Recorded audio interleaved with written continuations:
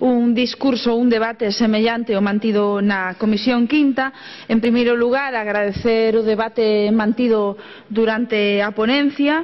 Alternativa Galega de Esquerda, como outros grupos da oposición, incorporou eh, algunhas das recomendacións das entidades de carácter social, do CERMI, de APN concretamente, que tamén foron trasladadas o resto de grupos e neste senso pois foron algunhas das emendas eh, aceptadas e transaccionadas por parte da ponencia.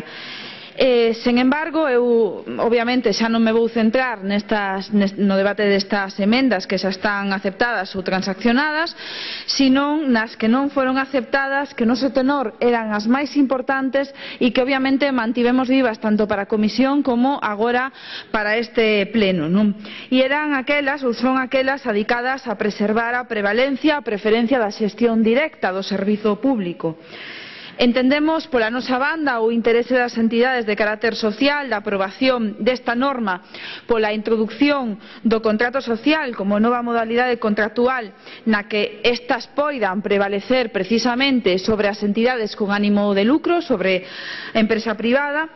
Eh, o que pasa é que dependerá das características do propio contrato, das condicións eh, que se eh, poñan nese momento, xa que co texto legal que temos sobre a mesa non quedan excluídas as empresas privadas tampouco dese contrato social. Hai que lembrar que se ven a priori a vontade semella ser boa, non necesariamente sairán beneficiadas as entidades sociais se non hai pois, unha vontade de quen teña que poñer en marcha ese contrato social ou ese concerto coas entidades.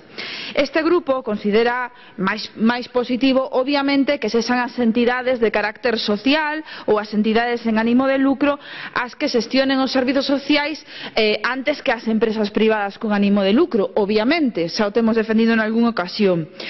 e en moitos casos son estas entidades as que se fan cargo de servizos esenciais que desgraciadamente debería eh, asumir a propia administración pero que ante o baleiro en moitos casos se foron xerando estas entidades traballando precisamente para proporcionar servizos, uns servizos de calidade que non, que non existían. Sen embargo, este grupo parlamentar considera tamén que a forma preferente para a proporción do que son os dereitos das persoas, os dereitos en saúde, saúde, en educación, en sanidade e tamén en servizos sociais deben ser a xestión directa, é dicir, os servizos públicos é prácticamente o ADN deste grupo parlamentario que defendemos pois, en todas as materias. Por lo tanto, entendemos que a súa preferencia, que a preferencia do servizo público non queda reflexada neste texto legal e preocupanos bastante. Por iso, mantemos vivas precisamente as emendas adicadas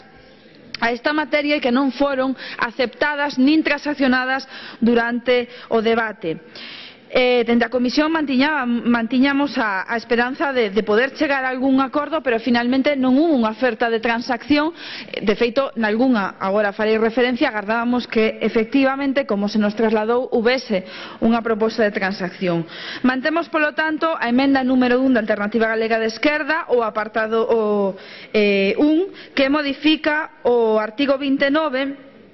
que solicita que os servizos sociais se presten por parte das administracións públicas de xeito directo e que eh, só se recurra a sesión indirecta cando o ben non exista ese servizo público creado e exista unha eh, imposibilidade por, por motivos económicos ou administrativos de xerar ese servizo público. É dicir, é bastante laxa incluso a emenda porque se marca pois, no contexto de que algunha administración poida ter problemas para xerrar ese servizo público. O que pretendíamos é que en primeiro lugar tivese preferencia o servizo público a xestión directa en segundo lugar fose a xestión a través de entidades de carácter social e a partir de aí eh, pues, en graduación ata a empresa privada con ánimo de lucro que nos entendemos non debería facerse cargo dos servizos sociais. Por lo tanto, tratábase de primar esa, eh, unha discriminación positiva cara ao servizo público, esa emenda non foi aceptada, non houbo ninguna, protesta, ninguna proposta perdón, de transacción, a pesar de que dende a propia ponencia se admitiu que se entendía o sentido da propia emenda. Queríamos que a excepcionalidade fose a externalización e non ao revés. Sucede o mesmo coa enmenda número 6 na que a oferta de transacción do Partido Popular eliminaba un aspecto chave da propia enmenda que é a frase que di que será o seto de revisión dos concertos dispor dun servizo público de xestión directa para prestación cuberta. Nos non temos ningún problema, repito, en que no caso de que xestión sexa indirecta sexa mellor unha entidade social que unha empresa privada con ánimo de lucro, obviamente, pero entendemos que o que ten que primar é o servizo público, con neste texto legal obviamente non se garante que isto vaia a ser así. E obviamente ficamos preocupadas tamén polo xeito en que se establece a libre elección, o debatimos tamén eh, durante a ponencia, e sí que neste caso se nos dixo que había posibilidade de que se trasladase unha proposta de transacción, pero finalmente observamos que non foi así. E, polo tanto, mantemos a emenda ao artigo 33 octis. Explicamos en comisión que pese ás diferencias que obviamente existen coa xestión e coa provisión de servizos eh, sanitarios, a nos nos preocupaba eh, que acontecese algo análogo salvando as diferencias co que aconteceu cando se estableceu a libre competencia eh, a través da libre elección entre servizos sanitarios públicos e privados. No caso dos servizos sociais, se ben é certo que pode existir eh, un beneficio para algunhas persoas determinadas, usuarios e usuarias, e poñíamos como exemplo o conflicto eh, relativo ás persoas usuarias que acudían ao centro de San Francisco, no caso de Vigo, que por mor da norma do Partido Popular tiveron que acudir a un centro privado con ánimo de lucro cando se estableceu, pois eh, eh unha vez saliu o, o concurso outra vez,